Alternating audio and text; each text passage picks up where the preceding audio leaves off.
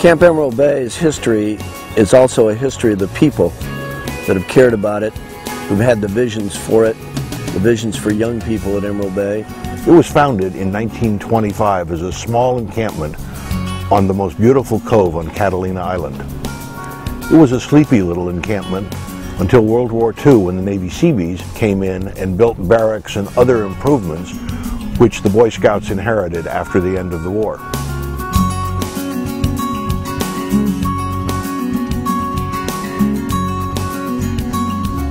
Camp expanded to accommodate about 350 scouts and explorers in the early 60s and now we serve over 600 kids a week during the summer and about 350 kids a week in the fall and spring as part of our outdoor education program.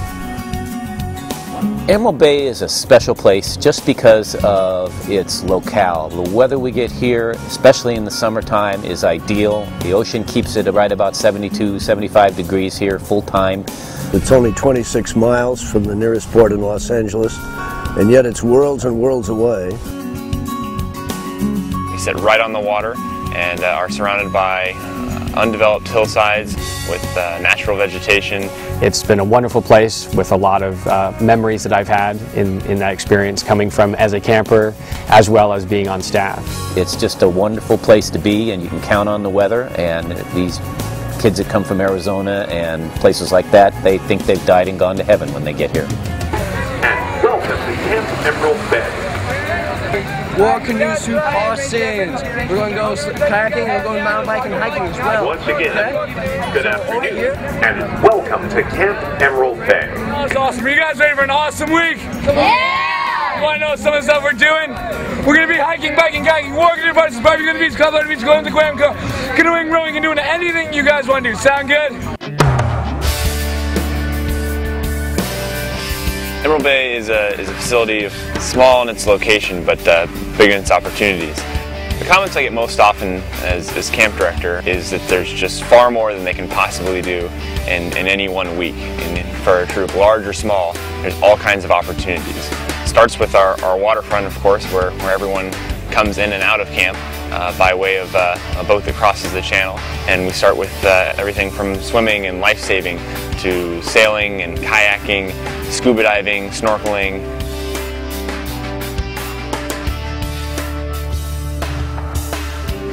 and other opportunities such as our overnight war canoe experience that goes to a, a remote beach provides for a unique opportunity to get outside. In camp itself we have all kinds of activities starting with our, our handicraft lodge where we focus on crafts such as leatherwork, pottery, we have basketry. In our field sports area we have archery, rifle, shotgun shooting ranges. We also have a nature area where we can focus on the endemic and endangered species that live on Catalina Island. We offer a host of merit badges there as well. One of our major goals over the last several years is, is how do we create and develop programming that is exciting and challenging for the scout who is 14 to 18 years old.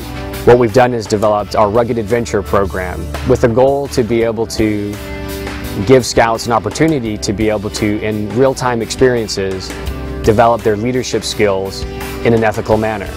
It's open to young men and young women who want to challenge their own boundaries and learn to express values and leadership in group settings. Ruggedy takes scouts on overnight war canoe trips, overnight mountain biking trips, uh, and takes them to the far corners of Catalina Island to get to do things that no one else in camp is able to do.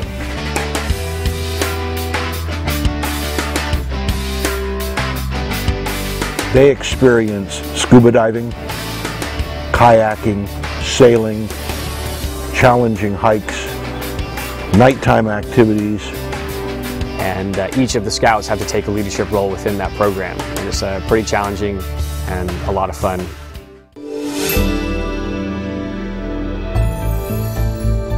Since the beginning of the camp, one of the major emphases in the program has been the ocean. We looked at the fact that one of the things our young people need to know is how to take care of this ocean, how to understand its flora and fauna, This is one of the richest areas for both in the entire world. And this dream grew and grew with a vision of the Penningtons. Our Marine Science Center was created. It grew from the idea of maybe a couple of tanks to what is now one of the premier marine science centers on the entire West Coast, if not our country.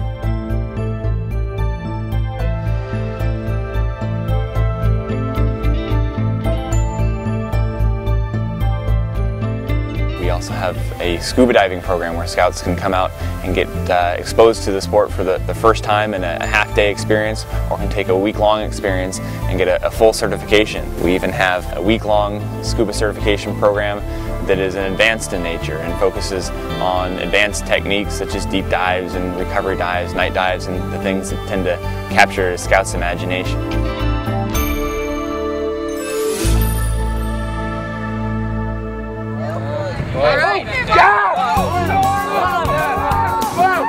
There's a real camaraderie here among the counselors. Uh, there's an alumni club. I mean, they come back and they just they just love it. This is a place to learn to be leaders, to learn values, good citizenship, self-reliance, and teamwork.